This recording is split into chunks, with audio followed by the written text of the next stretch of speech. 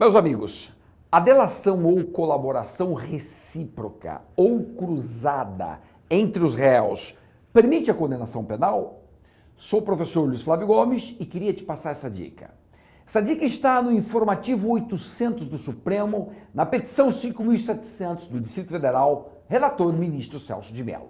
O que ele diz? O Estado não pode utilizar a denominada corroboração ou colaboração ou delação recíproca ou cruzada para condenar uma pessoa. Ela, por si só, não derruba a presunção de inocência. Pode um réu incriminar o outro, o outro incrimina o primeiro, não vai valer para condenar o réu. A delação precisa de outras provas, além da delação. Assim, não derruba a inocência a delação cruzada ou a incriminação cruzada. Entendimento já do Supremo Ministro Celso de Mello. Se você gostou deste vídeo e quer receber outras dicas e atualizações, vai lá, clique no link abaixo e cadastre o seu e-mail.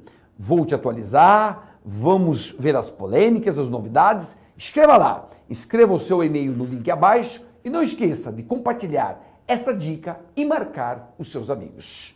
Avante!